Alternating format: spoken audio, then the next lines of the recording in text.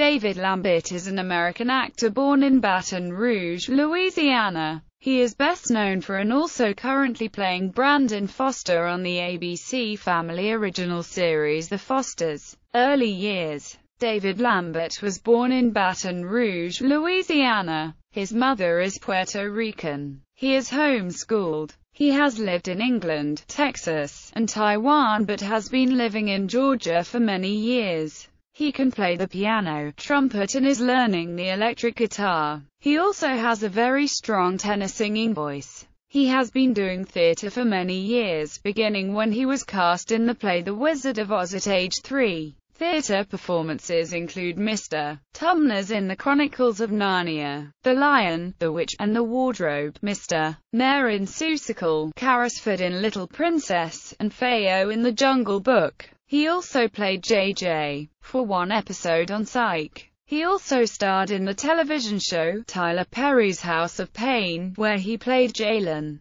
Career Lambert was discovered at an open casting call by agent Joy Pervis in Atlanta. After performing his monologue, he was asked to do something else. At first thought, he recited the Pledge of Allegiance, and it worked. He was in Georgia when he got the call to pack for Canada, where Aaron Stone was filmed. Most recently, Lambert starred as Jason Landers. Charlie Landers, Aaron Stone's brother in Aaron Stone and Goose in the Disney Channel original movie Den Brother, also starring Hutch Dano. Lambert also starred in the Hallmark Hall of Fame movie, A Smile as Big as the Moon, which aired on January 29, 2012. He currently has a starring role on the ABC Family original series, The Fosters. He plays Brandon Foster, a talented, 16-year-old pianist who is the biological son of cop, Steph Adams Foster. He also has a major role in the new movie, The Lifeguard, which came out on July 30, 2013. It was in the Sundance Film Festival. He plays the love interest for Kristen Bell his co-star in the film.